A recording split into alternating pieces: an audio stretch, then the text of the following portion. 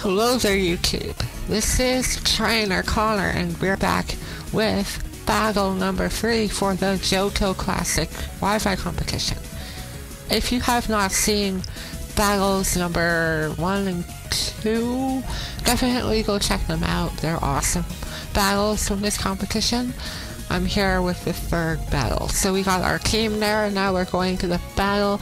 I just realized we haven't used Clefable once in this whole competition. But I believe that we're using the same team as last video. Quagsire, Dragonite, and Arcanine. My opponent here has Gengar, Entei, and Hitmonlee. And this will be a fun match. And after this, guys, I will be posting week 9 of the ILL, so stay tuned for that. But let's begin the match here. We got ourselves a Gengar up front. He goes for Will-O-Wisp. Um, that's not going to matter on an attacking standpoint. It is going to rack up damage. It's going to negate my leftovers recovery. Uh, so that's a good thing for my, for my opponent. So uh, he goes for a Shadow Ball, and this actually does a little bit more than I was expecting. But granted, this uh, Quagsire is more physically defensive than specially defensive.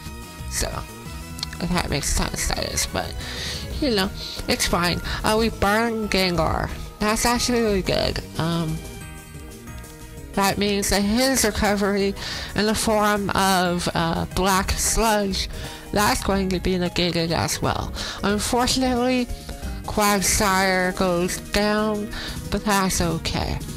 I go into Arcanine for some stupid reason. Um, I forgot that this Arcanine does not carry Crunch. If I had Crunch, that would have been amazing. He actually outspeeds me. Um, gets the poison out of the sludge bomb. And it's like, really? Come on. But we do end up um, finishing off Gengar with a Flare Blitz that will not take not that much recoil, again a critical hit which will not matter. Severe overkill in my opinion. Uh, but we take a little bit recoil there from the Flare Blitz and we take poison damage. Now his second Pokemon is Entei and um, I haven't fought an Entei at all until now in this competition, but I do know that they carry uh, Sacred Fire. Um, Sacred Fire has the chance of burning the opponent's Pokemon or my Pokemon in this scenario. And we'll see that happen. We see Dragonite getting burned here from the Sacred uh, Fire, but I have a Lum Berry not going to matter. I go for an earthquake. Hopefully this takes him out.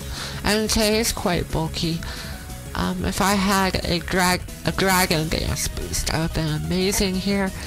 But we get to use extreme speed, finish off Entei, and um, his last Pokemon is Hitmonlee. I do know that they are notorious for branding um, fake out to the table. So, expecting fake out with a normal gem, we will go into Arcanine, cut down his physical attack, and then we can uh, put a lot of damage with him with an extreme speed. Um, that's what I was going for. Because I believe that Unburden is in effect. Hitmonlee's ability on Doubles his speed, so he will be faster than most of my Pokemon, unless I use priority. He knocks off my Assault Vest, not going to matter, and I get to finish him off with an extreme speed. So this was a short battle, but I just wanted to post it because that was the only battle that I thought that was really interesting. So, that's going to conclude the Johto Classic uh, battles for now. Next up, we have the ILL Week 9. So stay tuned for that, guys. Hope you all enjoyed this uh, series of videos from the Johto Classic. Make sure you like this video, subscribe, and I'll see you in the next Wi-Fi battle video. Have a great day, trainers!